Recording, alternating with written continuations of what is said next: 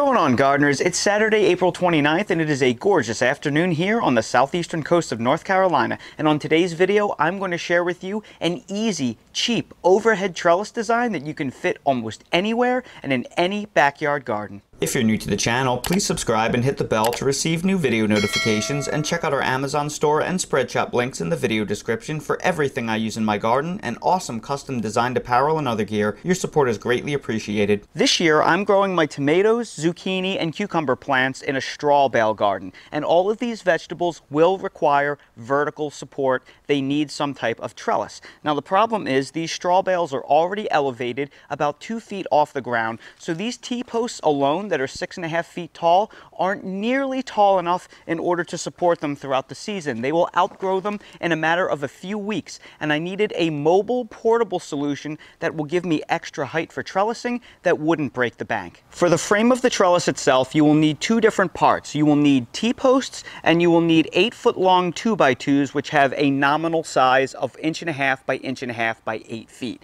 I purchased these six and a half foot T-posts from Tractor Supply, and I purchased these these eight foot two by twos from Lowe's. You can get the lumber or the T-posts from pretty much any big box store. That's up to you. You can probably get away with shorter T-posts if you so desire, but I wanted the taller ones for more support. You will need one eight foot long two by two for every T-post that you use. How many you will need total is going to depend on how long your trellis needs to be. I recommend spacing the T-posts about every six to eight feet. Then for trellising hardware, we are going to need eighth inch stainless steel aircraft cable, eye bolts, zip ties, some aluminum collars in order to crimp the airplane cable, turnbuckles, and we're going to need several double tomato hooks and tomato clips so we can actually support our vining plants. To make it easy so you can find all of the supporting hardware, I will link to all of them in my Amazon storefront down in the video description underneath the trellising supplies list, and I will also place direct links to the trellising items in the video description for your convenience as well. The first thing that we're going to do is we're going to pre-drill the tops of all of our wood posts about two and a half inches from the top.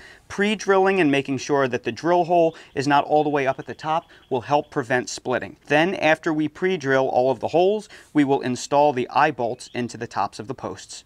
Now that all of our 2x2s have been drilled and the eye bolts have been installed, what we're going to do is we are going to attach them to the T-posts. And the T-posts are going to be the rigid supports that hold the 2x2s in place. So what we're going to do is we are going to place the 2x2s on the back side of the T-post where this groove is. And that is going to act like, it's almost like it was built perfectly to hold a 2x2. It's going to hold it nice and straight and in place. Then we are going to take zip ties to simply hold them in place. And I'm going to use 12 inch zip ties to hold them in place. They are the perfect size to hold a 2x2 and strap it to a standard T-post. So I'm simply going to place one of these up top and pull it nice and tight to secure them.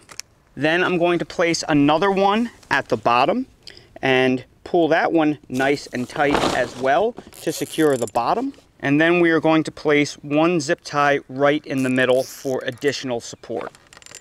And what's very nice about this is these zip ties will hold this wood in place all season long or longer if you choose to leave this up for multiple seasons. But at the end of the year, if you want to disassemble this trellis, all you have to do is cut the zip ties and the wood will pop right off. Okay, now all of the wooden 2x2s have been secured to the T-post. However, I want you to notice that I oriented them differently. The end posts have the uh, eye bolt facing forward parallel to the trellis. And then the supports in the middle, they have the eye bolt sticking out perpendicular to the trellis and that's because they are going to hold the cable in place whereas the end supports are going to hold the turnbuckle in place. So it's important that you orient these in the proper direction in order to hold the cable. Now I'm going to show you how to run the cable. Now we're going to begin attaching our airplane cable and the first thing we need to do is we need to place a loop on the end of the airplane cable and we're going to use one of these aluminum sleeves to do that. So we're going to feed the cable through one end loop it back around. And what this loop is going to do is it is going to attach to our turnbuckle that we're going to tighten to increase the tension in the lines. So now that that is the right size, I'm going to take a pair of bolt cutters and simply press the sleeve on to secure it permanently. Now that the airplane cable has been attached to the end post with a turnbuckle, we are going to run the airplane cable to the end of our trellis plus another one to two feet so we ensure that our airplane cable has a little bit of additional slack so we can form a loop to secure it to the front post. Once we cut our airplane cable, we're then going to run it to the back of the trellis and run it through all of the eye bolts to keep it suspended into the air. Now I have the turnbuckle installed on the other end post and I already pulled my airplane cable through and I created a loop just like I did on the other side and now I'm going to press on this aluminum sleeve to hold it in place. So what I did was I manually hand tightened the overhead trellis to try and pull as much of the slack out as possible. Then I'm going to use the torque of the turnbuckle to pull out the additional slack that I couldn't pull out by hand. And now that the cable has been tightened, I'm going to cut off the excess. Now one thing that you will notice is I made sure to install the turnbuckle in the fully extended position. And that is because we need to manually pull the slack out of the cable using the torque of the turnbuckle. And that's what I just did. And I pulled it to the point where this is about hand tight. And I made sure to install a turnbuckle on both sides because I'm using pressure treated 2x2s in order to hold this cable in place. And unfortunately, pressure treated wood tends to warp in the direction of the tension. So I fully expect both end supports to warp in an inch or two. And I will probably need to come back to both turnbuckles to pull the extra slack out. If you're going to use pressure treated wood, this is an unfortunate reality. If you use untreated wood, it probably won't warp as badly, but my Lowe's did not have any untreated wood.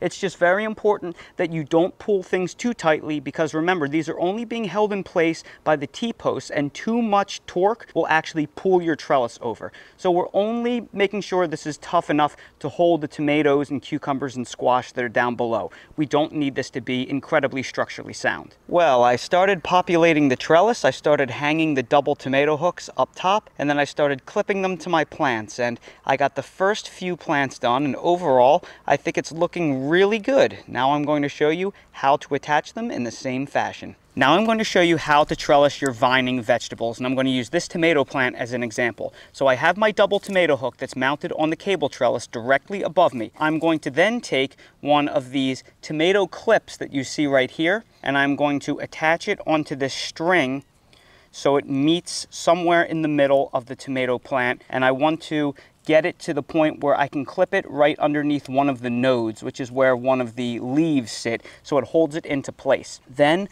I'm going to take the plant and twist it around uh, the string just a little bit to help coax it to grow up in that direction. And roughly every maybe foot or so, maybe a little bit more, I may have to add another one of these tomato clips to clip another piece of the main stem to the twine. Now I'm going to show you how to do this with a cucumber plant. Trellising a cucumber plant is going to be very similar to that of a tomato plant. We're going to follow the same procedure. We're going to take one of our tomato clips and we are going to attach it roughly to where the base of the cucumber plant is going to be underneath one of the nodes. Then once we have it attached underneath one of the nodes, we are going to gently wrap it around the cucumber plant to help encourage it to grab on and kind of twist its way up the uh, individual cable or the individual twine. And then every 12 to 18 inches or so, we can place another tomato clip that will hold the vine close to the string.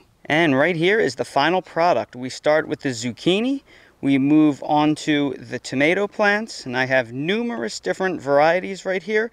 They have all been supported using the string trellis, and overall they're looking great. The smaller ones aren't quite ready to be string trellis yet, so I'll probably have to redo little guys like that right there once they toughen up a little bit.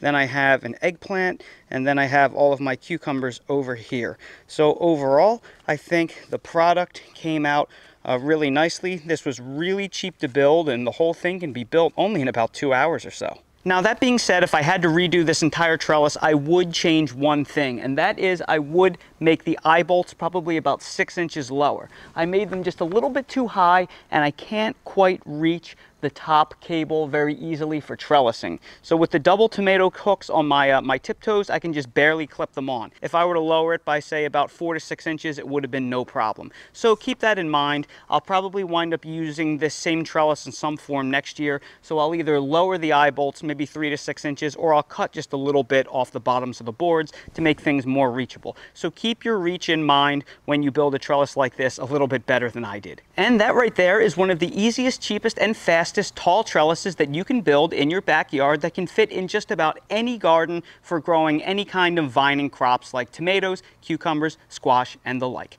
So everybody, I sure hope you found this video helpful. If you did, please make sure to hit that like button, subscribe to the channel, and please ring that notification bell so you're notified when we release more videos like these. If you're curious about any of the products that I used in this video or that I used in my garden in general, they are all linked down below in my Amazon storefront in the video description, and I put some direct links in the video description as well for some of those trellising supplies. While you're there, check out my spread shop for custom merch if you want to support the channel. If you have any questions, ask them down in the comments below. Thank you all so much for watching, and I hope to see all of you again on the next video.